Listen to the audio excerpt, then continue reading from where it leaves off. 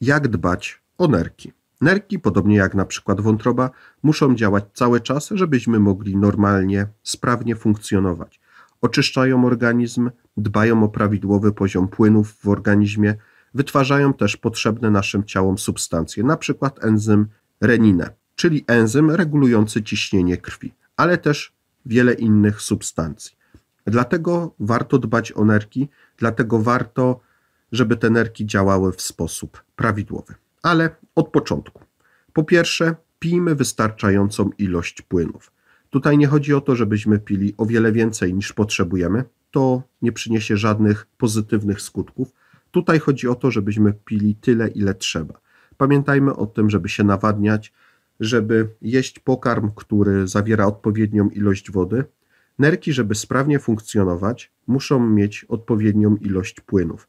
Bez tego ich działanie, te procesy, jakie w nich zachodzą, nie mogą w sposób właściwy się odbywać. I oczywiście odbija się to bardzo mocno na samych nerkach, nie tylko na tym, że obrywa również reszta naszego ciała. Więc odpowiednia ilość płynów, odpowiednia ilość nawodnienia.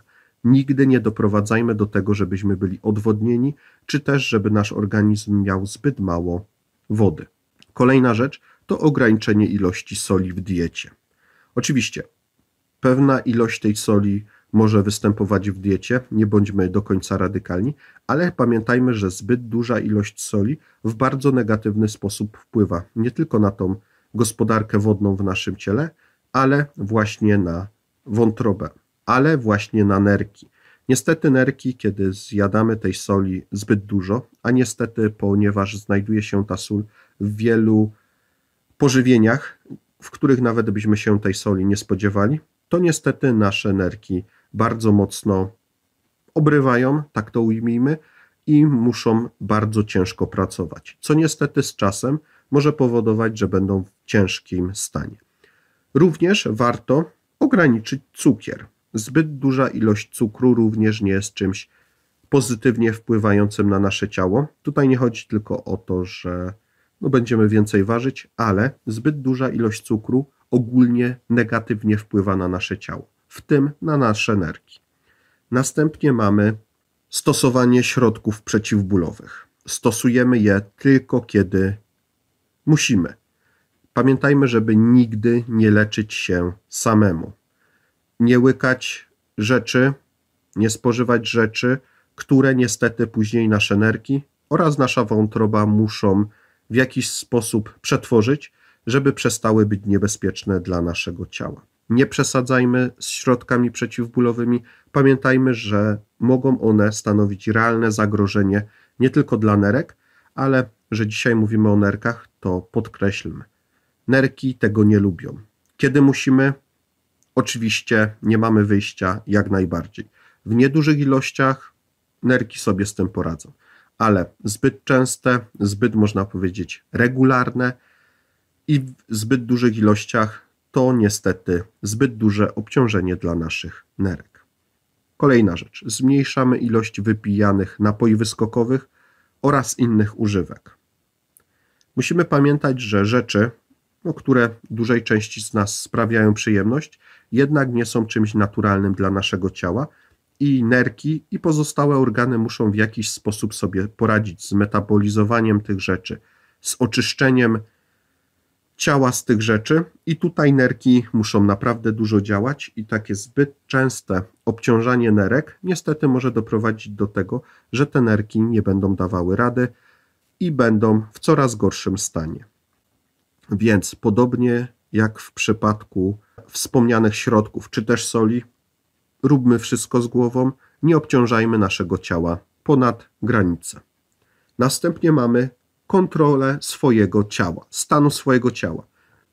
Badania moczu, krwi, poziomu cukru, ciśnienia krwi.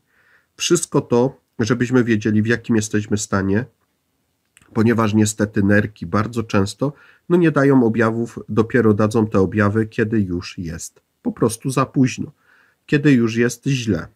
Dlatego warto robić te badania, kontrolować stan swojego ciała, tak żeby móc oczywiście zareagować o wiele wcześniej niż wtedy, gdy jest za późno. Następnie mamy regularne opróżnianie pęcherza.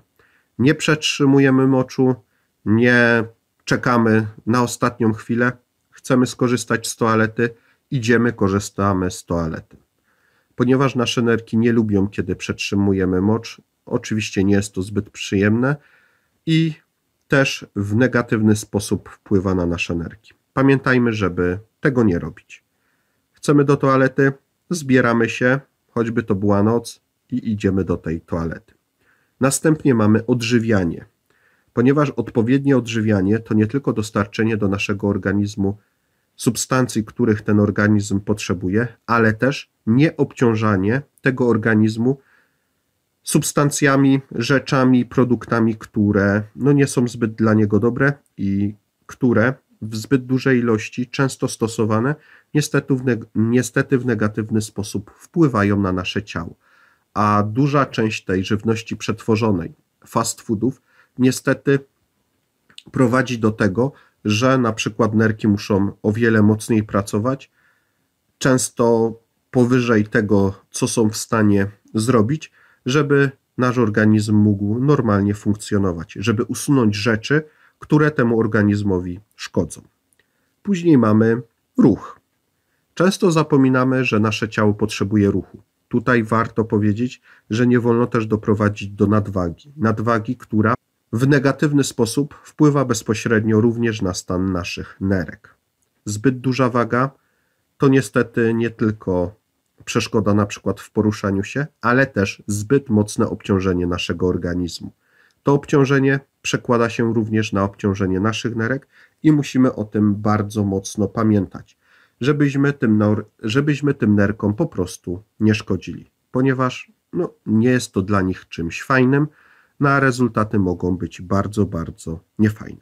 Ale może na koniec, jakie objawy powinny nas niepokoić? Tutaj już wspomniałem w materiale, że niestety nerki bardzo długo nie dają żadnych objawów.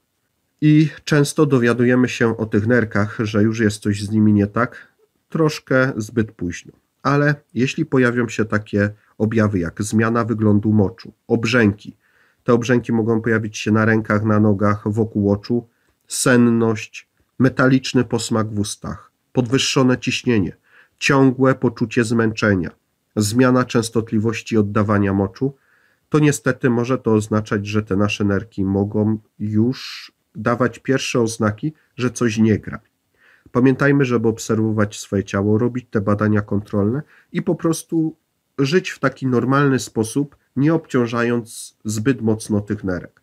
One oczywiście nawet lata potrafią radzić sobie z ciężkimi warunkami, podobnie jak wątroba, ale niestety może kiedyś przyjść dzień, że te możliwości wytrzymywania tego ciężkiego życia się skończą.